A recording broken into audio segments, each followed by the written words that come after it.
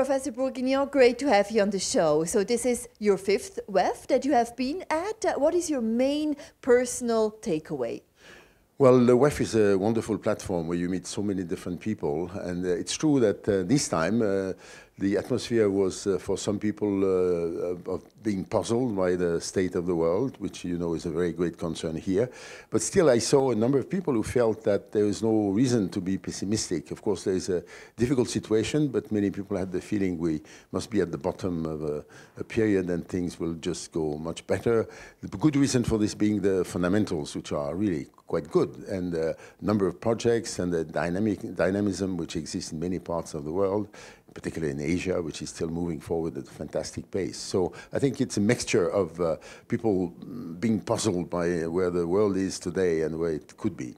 When it comes uh, to the ERC and researchers and analysts and so on, where do you put your resources and your capital? Where is your focus area going forward? Well, actually, in our case, we are using, because that's the logic which uh, really went, uh, led to the creation of ERC, the logic is to be strictly bottom-up. So the whole point for us is to motivate the researchers to submit to us their most ambitious projects, their most uh, crazy ideas sometimes. So we really want people to take risk when they submit projects to us. So in a sense, we don't have any priority areas. But one thing we see, which uh, I think is uh, something which people don't know, very often the scientists are presented uh, living in their ivory tower. But this is not true. They are very reactive, very sensitive to all things which happen. So in particular, if you look at the questions on energy, if you look at questions on uh, climate change, uh, questions on migrations, I think the researchers who are professionals, they really want to understand because that's the whole point of science. They really want to give their contribution to these things,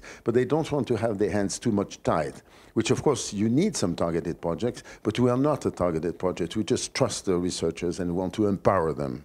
When it comes to the relationship between the EU and Switzerland as well, this has been on the table here at the WEF as well, and I'm sure at the ERC as well. What direction do you see these talks going? What kind of progress are you seeing? Well, I think at the moment, as you know, we're in the situation where Switzerland is a member, is an associated country to the Horizon 2020 program, in particular to the European Research Council, and the, uh, it's uh, actually the most successful country. So uh, we are very much aware of how much we, we, we gain from uh, having uh, researchers working in Switzerland uh, with us, but also I think Swiss people are also very much aware of how much they are gaining.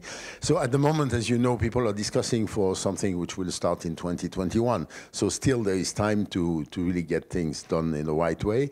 Of course, the, with the number of questions people have on what will be the exact definition of the next program called Horizon Europe, of course, there are still a number of things to be fixed, but I'm very optimistic because it's so obvious that there's uh, only things to lose if uh, things uh, would break. So I'm very, very confident, and I've met a number of Swiss people in charge. I'm going to met, uh, meet the new uh, state secretary in a few few hours.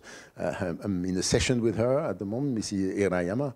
So I'm I'm not worried. I think it's so obvious that we must work together. So I think we will find a solution. So what is in there for them? Because they will pay into a general pot of budget.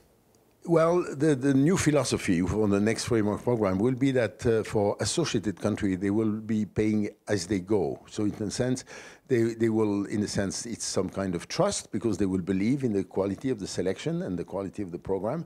And then if some people from the, the place they are uh, are chosen or selected, then they will have to provide the resources. So this will be the new rule of the game. And I know that on the, on the case of, on the side of Switzerland, this is, uh, they, they accept that very much because they know how much the, an evaluation at a higher level, a competition at a higher level is bringing uh, value. So I think uh, this is the new logic and I think um, I'm sure it's going to be fruitful. Other countries are also ready to be in this logic: Israel, uh, Norway, and, and, so on. So, of course, the one question is the UK, but absolutely. so, Norway, uh, Switzerland, and uh, also Israel, they actually fear a poor access to the Horizon 2020 and a sweeter entry deal for the UK. What is your view on that? I think there are so many question marks. It's very difficult to say anything sens sensible at this stage. I think uh, discussions that you know are changing by the day. So um, it's very difficult for me to make any comment because it looks like I'm trying to influence, which I don't want to, because I think it's a highly political issue. Now, Horizon 2020, if we come back to that topic, is that the biggest ever innovation and research program that Europe uh, has seen. The total amount is some 80 billion euros, and ERC is taking part with some 13 billion euros as well. Why does Europe need such an expensive program? Well, you say it's expensive, but if you compare to the investment made in Asia, it's, it's not an expensive program.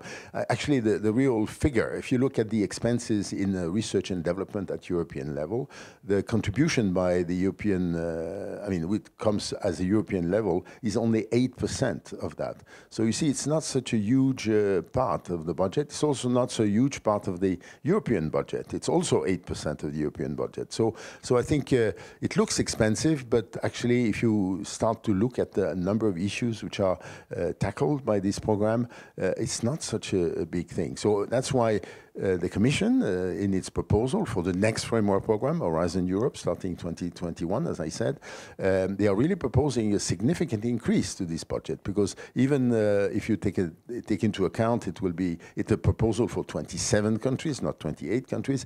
Uh, the proposal is 100 billion. So, so definitely, it's a very significant increase because that's the uh, analysis that the European Commission has been doing, and actually even with some external advice. Uh, the, the, committee who looked into that was led by Mario Monti, uh, the former Prime Minister of Italy, and uh, so President Monti uh, really identified two areas in which the added European added value is the largest, which is research and, uh, and innovation on one hand, and internal external security on the other hand. So the fact that there's a, a, a progress for this budget is very linked to an in-depth analysis of the, uh, the value.